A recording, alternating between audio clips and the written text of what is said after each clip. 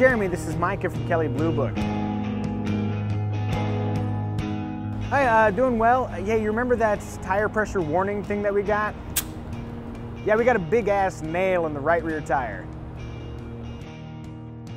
At this moment, I don't realize it, but the next 36 hours will be a challenging, emotional roller coaster. And it all starts with a single screw. Our goal is to drive a Tesla Model S electric car from LA to Las Vegas. It should be a piece of cake. Here's what actually happened.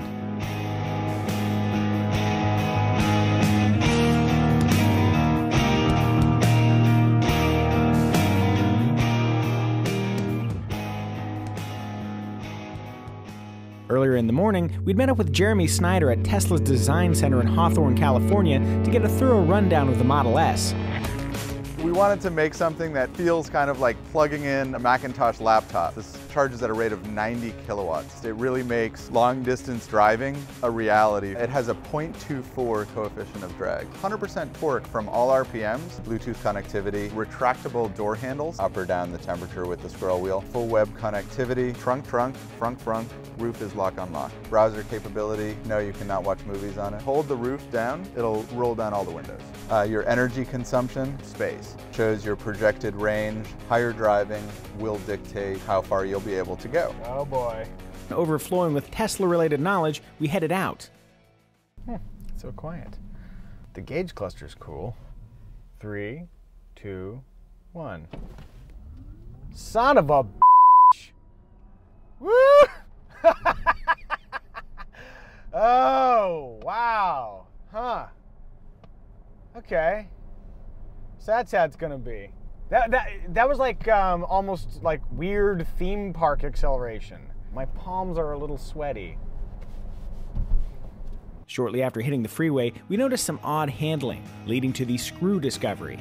Well, we have only 24 hours with the car, uh, much of which is being spent on the 405, waiting to squeeze to the Tesla facilities where they'll uh, swap out the tire or repair it, and then at some point after that, we'll actually start driving. Originally, the plan was to pick up the Model S, drive it to Barstow, use the supercharger, and blast on to Vegas, no problem. With 260 plus miles of range, it would have been easy.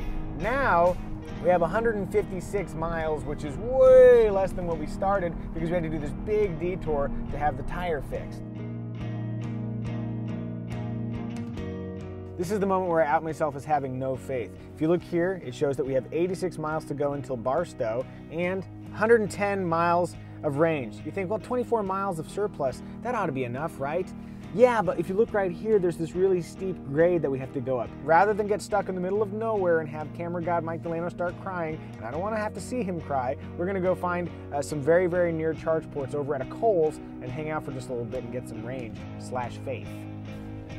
Okay, so now we're charging. We're going to go off and uh, screw around a little bit. Check this out. This is like about an eighty thousand dollar car. Do you meet guys fit in the back?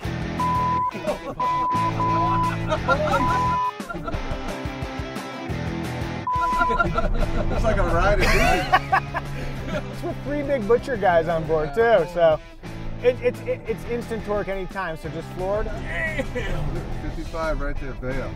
Even with three hefty butchers on board, Model S is seriously quick.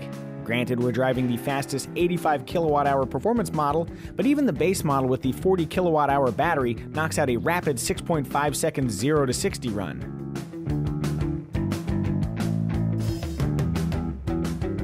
We have 62 miles of range, but we have 63 miles to go until we get to Barstow. Either we will definitely not make it, or we might not make it. You look right here, it's the steepest part of the hill. The unsettling part is when you look up here at the projected 25 mile range. I don't know exactly what's going to happen. I'm pretty sure we'll get to Victorville. I'm not sure if we're going to get to Barstow. One thing that's not going to happen is we're not going to just breeze into Barstow with a ton of electric range left.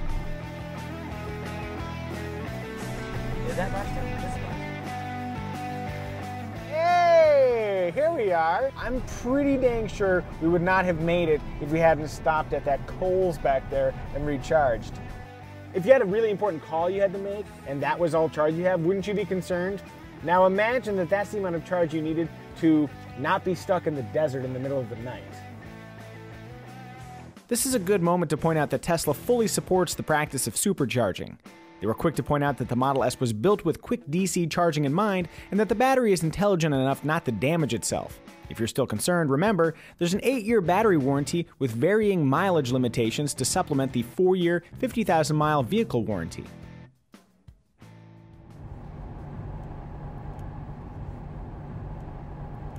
So when we left Barstow, we had 200 plus miles of range, thinking, ah, we only have to cover like 150 miles, so this should be really, really easy. Right now, we're about 21 miles away from Las Vegas with a total range of 26 miles. Apparently, going up and down all those hills and maybe having both the seat heaters on and needing to have the heater on because it's 30 something degrees outside has depleted the batteries more quickly than we could have possibly imagined. So now we're, we're really kind of close.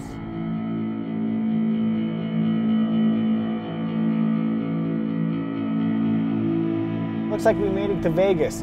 Although, with only nine miles of range, and we haven't actually arrived at the hotel yet. Nine miles. I wonder what it's going to be by the time we get there. Down to seven miles. Six. Six? We're now down to four. Aha! Electric vehicle charging station. Four miles. If there hadn't been charging stations here, we would have had four miles to find an alternative.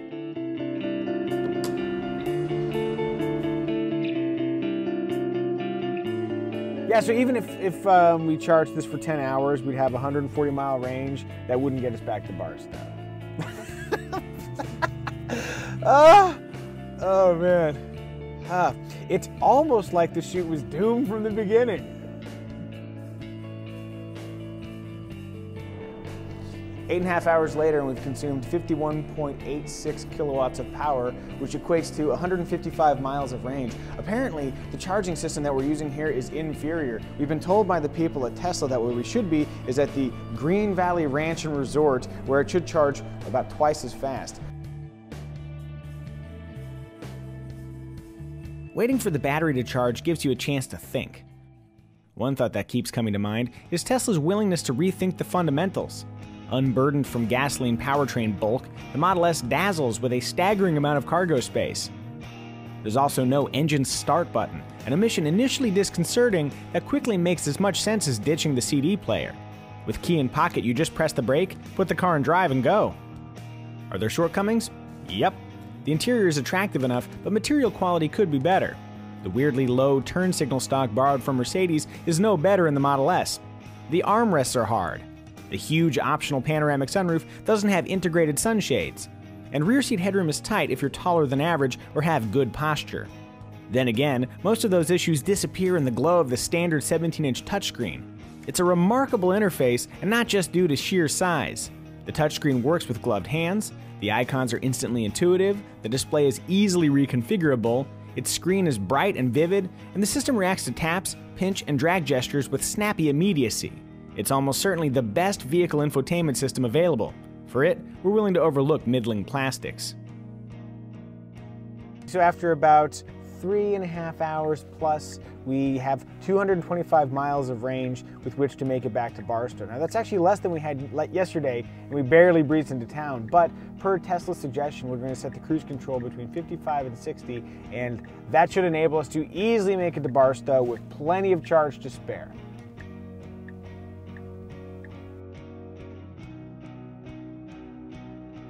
We're cruising up the big hill just coming out of Primm, Nevada. Uh, the cruise control is set at 58 miles per hour. The temperature is set at a very modest 73, and uh, according to the projected range here, uh, we've only got 68 miles left, but we have 103 miles to go. Yeah, isn't halfway between here and Barstow good enough? Ah, jeez.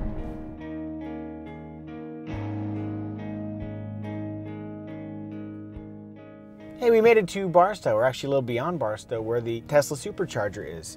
We have 43 miles of range left. So we actually could have left an hour or an hour and a half a little bit earlier, but we didn't know exactly how much buffer we had. The sacrifices it took to get that extra 43 miles of range include driving at a truly offensive 58 miles an hour with the cruise control set. It was really, really hard because not only do you take forever to get where you're going, but it's hard to maintain focus because the drive is so boring.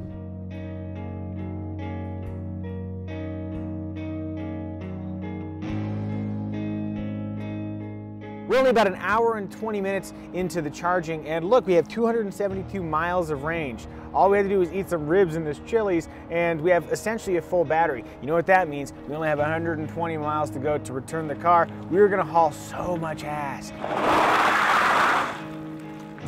With battery range vastly greater than our needs, we were free to drive the final Barstow to Hawthorne leg as fast as we liked. Then something wonderful happened. We got to experience the Tesla Model S as it was intended. Right now is the first time in the entire time we've had the vehicle where we're completely unencumbered by the issues of range or time.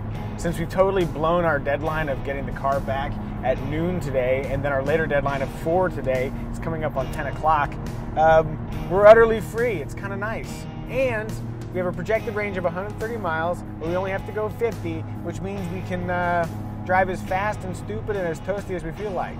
But once you get away from the cross-country range anxiety issues, uh, it's just brilliant. No engine noise, the gentle whoosh of the tires, fully customizable. I want sportier steering. If you need to get around somebody, it just picks up speed so fast. Hey look, we made it back with plenty of charge to spare before we finally hand the thing back in for the last time.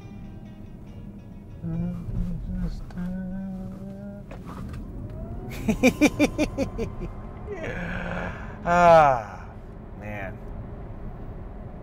What a cool electric car. So, what did we learn from our little adventure? Well, if we wanted to get touchy feely, I could point out that unlike a gasoline car, you really have to consider energy management when driving long distances in a Tesla Model S. Perhaps it's not so bad to think about where your power comes from and how you'll use it. For a broader takeaway, think about the Model T, the early internet, and the first iPhone. Each looks crude in retrospect, but they represent a fundamental shift in thinking. In similar fashion, the Model S shows that electric cars can work, letting normal people drive in the style they're accustomed.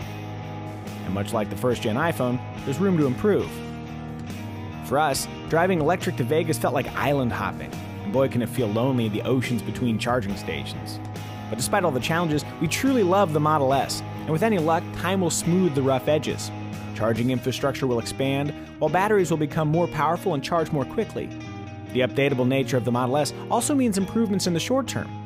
In a follow up call to Tesla, a representative confirmed that topography aware range projections, something we desperately wished for on a drive, were already in the pipeline for existing and future cars. With a little luck, it'll be ready for our next Tesla trip to Vegas.